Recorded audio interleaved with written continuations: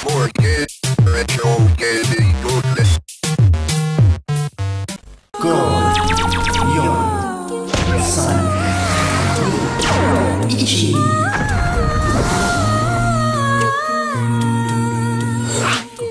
Thanks for joining me, Bastich B, for Import City, a look at the world of 80s and 90s Japanese gaming. In particular, we're going to check out Japan exclusive games and English fan translations, and show some really fun stuff that require no Japanese to enjoy. If you like the Famicom, Super Famicom, Mega Drive, Mega CD, Saturn, and PSX, then this may be for you. So now let's check out today's two games.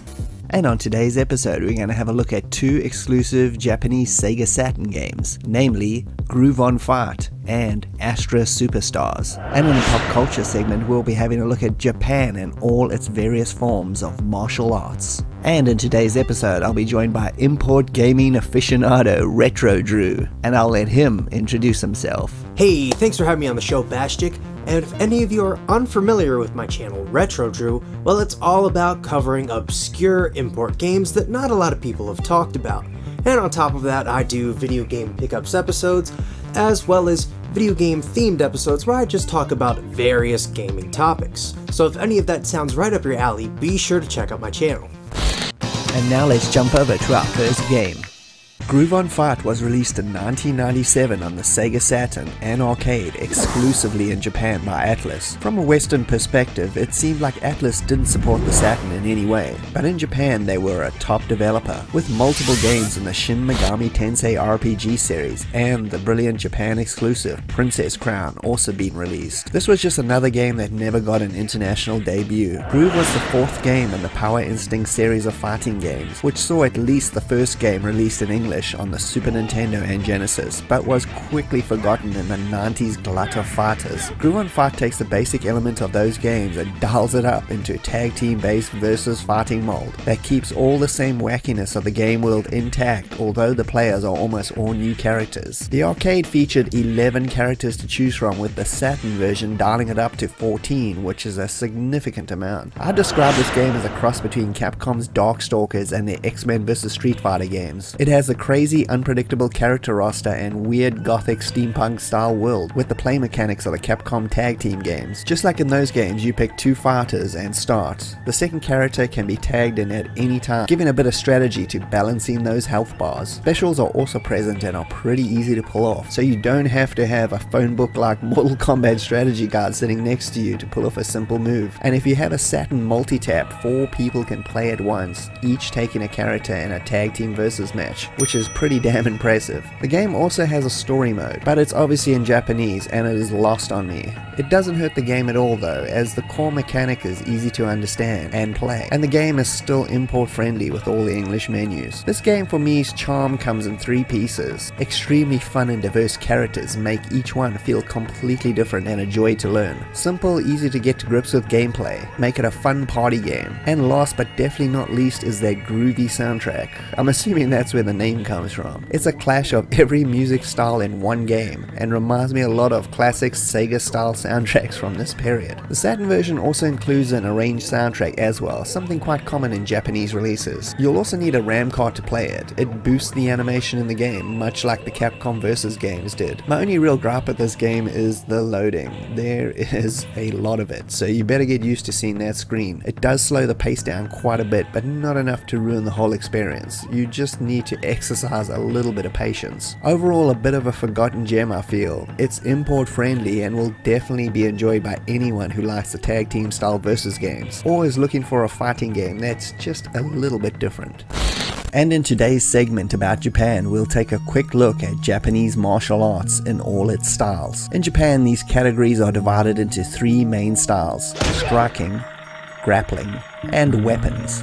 Most of these styles are aimed at self-defense and try to minimize the risk of injury to your opponent. In the striking category, the two most popular are karate and taekwondo. Both those arts trace their origins to China and Korea, respectively. Japanese karate originated on the islands of Okinawa and is based on Chinese kenpo. Okinawa is an island off the coast of Japan, so these techniques were developed in isolation for many centuries before being introduced to the mainland and the world en masse, mainly after World War II due to the the many Americans being stationed there during the war and learning and spreading its art. Grappling martial arts have four major styles Jiu-Jitsu, Judo, Sumo, and Aikido. Jiu-Jitsu originated and was developed by samurai to disarm opponents if you find yourself in a situation without a weapon. Judo is similar and is based on Jiu-Jitsu. This is where you use an opponent's strength against them to take them out, and gained international fame after being introduced in the 1964 Tokyo Olympic Games. Aikido is a relatively modern art developed and honed between the 1930s and 60s, and is used to neutralize a situation before it begins. And the final grappling art is Sumo, which started more than 2,000 years ago, but has become one of Japan's most popular sports. It employs many old religious traditions based on Shinto, with its combination of strength and balance being the art. Finally, in the weapon style, we have Kendo and Kyudo. Kendo, which means way of the sword, is the art of training with wooden sword and dates back to the samurai training days.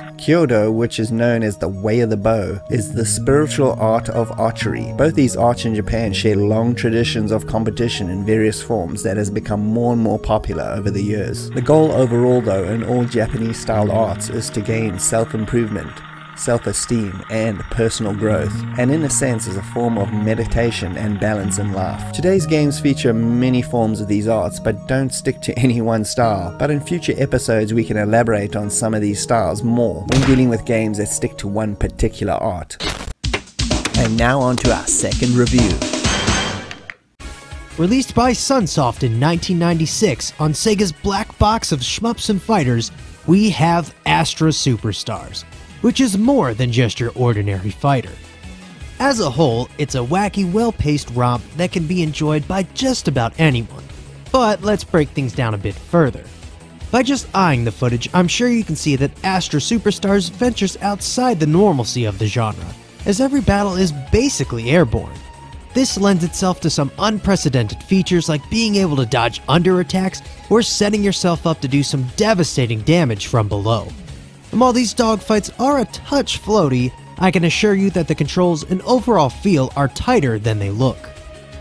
The playfield isn't the only unique mechanic, as Astra Superstars doesn't rely on the established Street Fighter control style, but instead can best be described as a mashup between Smash Bros. and Street Fighter, as your face buttons all do different attacks, two of which are your specials, and after performing a Street Fighter button combo, one can unleash a super as well. Personally, I adore this mixing of the playstyles, as it caters towards a simple pickup and play feel that just about anyone can easily adapt to after one or two rounds. But it does go a bit deeper for those who want some extra depth in their fighting systems. For example, the game has a reversal system as well as a guard break, but most interestingly is the game will grade you based on how well you fight. So if a round times out, just because you have more health doesn't guarantee you the victory you better hope you've outmatched your opponent's technical prowess. Graphically, the game isn't going to knock you off your feet, as I think just about every Capcom fighter of the time blows this one out of the water. But I won't deny that this game succeeds at its own style. The over-the-top moves carried out by each character all have a unique and colorful flair to them, as do the characters themselves, I mean, where else are you gonna fight an anime girl sporting her best Santa cosplay who's not afraid to give you a taste of Santa's sack? Or how about the anime embodiment of Cupid, who can smack you around with her wings that she can grow at will?